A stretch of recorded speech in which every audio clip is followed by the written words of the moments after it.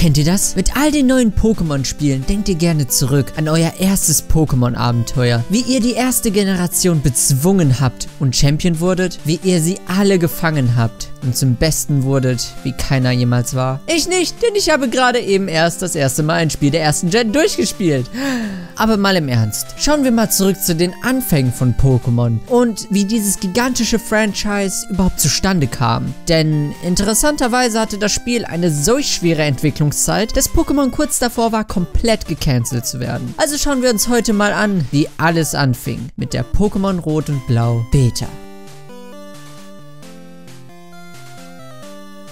Satoshi Taijiri, der Erfinder von Pokémon, hatte zwei Hobbys als Kind. Käfer sammeln und Videospiele spielen. Als er älter wurde, waren Videospiele aber weitaus mehr sein Ding als das Sammeln von Käfern. Tatsächlich mochte er Videospiele so sehr, dass er lernte, wie sie funktionieren und sein Wissen in einem selbstgemachten Magazin mit anderen teilte. Dieses Magazin, welches er vollständig selber kreierte, nannte er Game Freak. Game Freak bekam eine kleine Fangemeinde und es schlossen sich immer mehr Leute Taijiri an. So zum Beispiel auch Ken Sugimori, welcher später für Pokémon-Designs und Illustrationen bekannt wurde. Über die Zeit wurde Game Freak ein solcher Erfolg, dass Taijiri die Möglichkeit bekam, sein großes Idol kennenzulernen, Shigeru Miyamoto. Taijiri entschied sich dann dazu, dass es ihm nicht mehr reicht, nur über Videospiele zu schreiben, sondern er will sein ganz eigenes Spiel kreieren. Die Idee kam ihm, als er sah, wie Kinder Kinder mit dem Gameboy spielten und die Link-Kabelfunktion nutzten. Er stellte sich dann vor, wie interessant es doch wäre, wenn man über dieses Link-Kabel virtuelle Käfer austauschen und jeder so seine eigene Käfersammlung haben könnte. Nach weiteren Überlegungen und Arbeiten an dieser Idee entstand das erste Konzept von Pokémon, genannt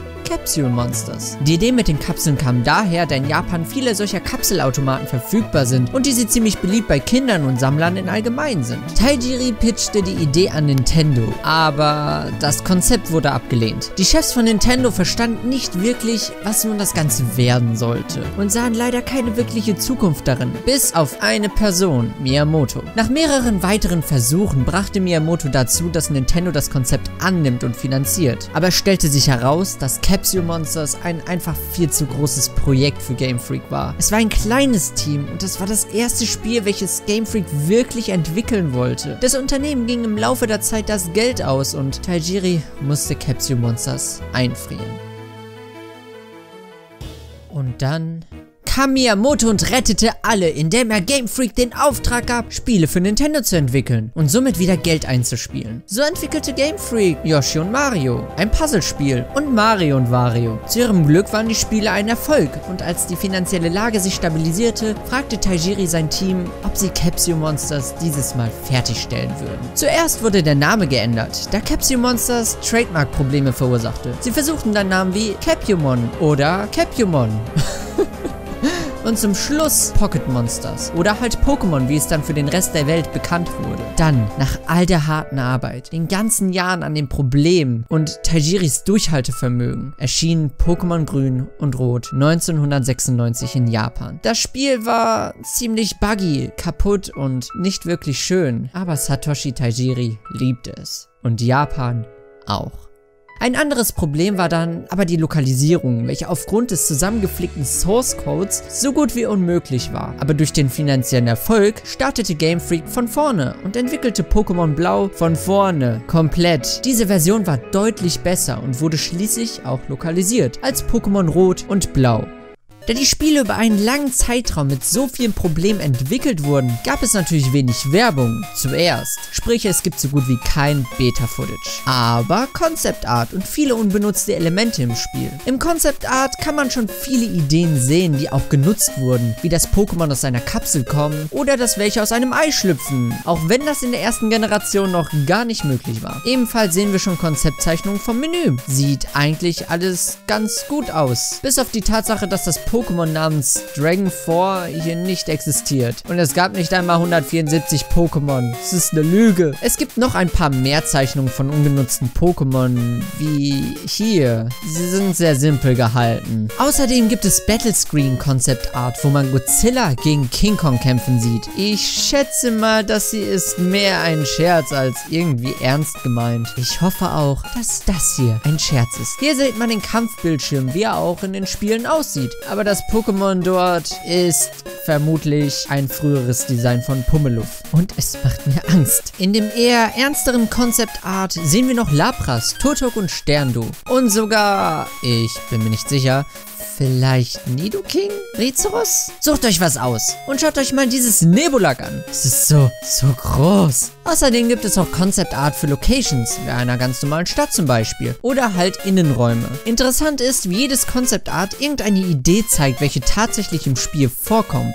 Bis auf eins. Dieses hier. Das hier sieht aus wie ein Pokémon-Shop, in welchem man tatsächlich Pokémon kaufen kann. Wir haben zwar den normalen Shop, aber dieser verkauft nur Items. Das scheint mir wie ein ungenutztes Konzept auszusehen, von welchem ich mir nicht sicher bin, ob ich es gut finde, dass es nicht existiert oder nicht. Wahrscheinlich finde ich es eher gut. By the way, ungenutzte Dinge. Es gibt immer noch einige unbenutzte Pokémon-Sprites und sogar unbenutzte Pokémon, wie dieses frühe Hornliu hier. Geh mir aus den Augen. Oder dieses Dragonier. Äh, Quapsel hat ebenfalls ein eher traurig aussehendes Design. Das meine ich, weil es traurig aussieht. Ebenfalls hat die Weiterentwicklung ein frühes Design. Ich habe keine Ahnung, ob das Quapo oder Quapuzzi ist. Aber ich finde, es ist super und ich finde es schade, dass es nicht wirklich genutzt wurde. Ich meine, schaut euch diese dicke Kauquappe mit der Krone an. Das ist super. So wie Horndio ein frühes Design hatte, hatte Kokuna auch eins. Welches sogar noch schrecklicher aussieht. Kleiner Fun Fact, auch im finalen Release hat Kokuna noch so Krallen am Design, welche später aber vollständig entfernt wurden. Die letzte Entwicklung nach Beta Kokuna ist diese Abscheulichkeit hier, welche mir auch Angst macht. Erinnert eigentlich von der Idee mehr an Ledian.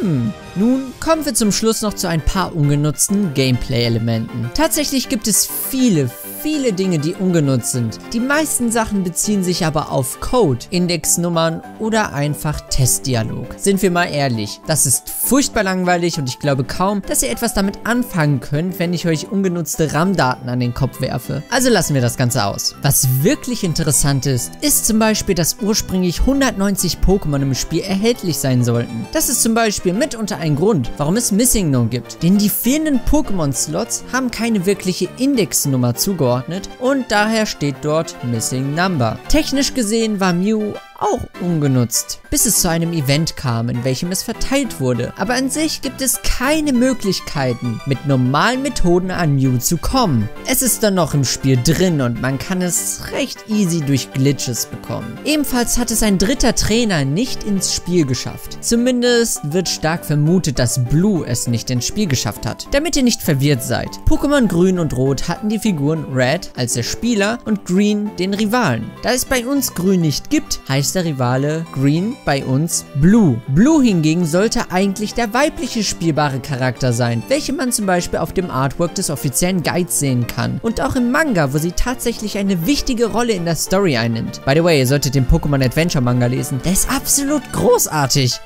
Aber genug davon. Tragischerweise hat es Blue nie ins Spiel geschafft und ist bis heute nicht integriert worden, da sie im Remake durch Leaf ersetzt wurde, welche by the way nur bei uns grün heißt. Tatsächlich heißt heißt sie sowohl im Japanischen als auch im Englischen Leaf. Ein Element, das es ins Spiel geschafft hat und nicht genutzt wurde, ist ein kompletter Pokémon-Typ. Und zwar der Vogeltyp, den nur Missing No hat. Warum er existiert? Keine Ahnung. Aber er wurde vermutlich später in Entwicklung durch den Flugtypen ersetzt. Auch ersetzt wurde Professor Eich. Vermutlich. Am Ende der Reise kämpft man gegen seinen Rivalen, welcher dann der stärkste Trainer im Spiel ist. Aber genau dasselbe trifft auch auf Professor Eich zu. Man kann ihn nicht unter normalen Umständen bekämpfen kämpfen, aber sein Team existiert noch im Spiel und ist dem vom Rivalen ziemlich ähnlich, was darauf hinweisen könnte, dass er eventuell der Champion sein sollte. Bleiben wir mal bei den Trainerkämpfen, denn in der ersten Generation kann man jeden Trainer bis auf die Top 4 nur ein einziges Mal bekämpfen. Es gibt keine Rematches. Tatsächlich war das so nicht geplant. Ursprünglich war gedacht, dass man jeden Trainer jedes Mal bekämpft,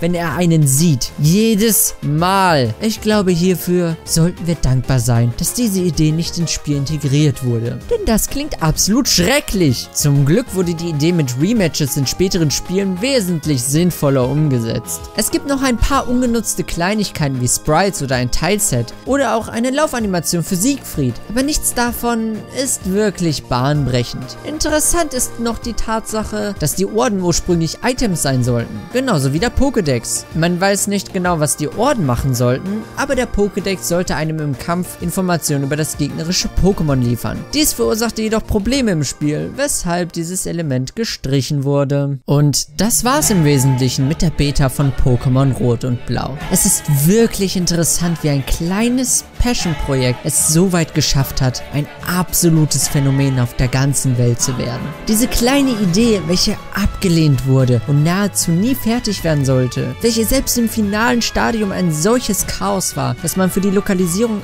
alles von vorne machen musste, wurde zum größten Rollenspiel-Franchise der Welt. Und das ist schon irgendwie inspirierend. Oder nicht?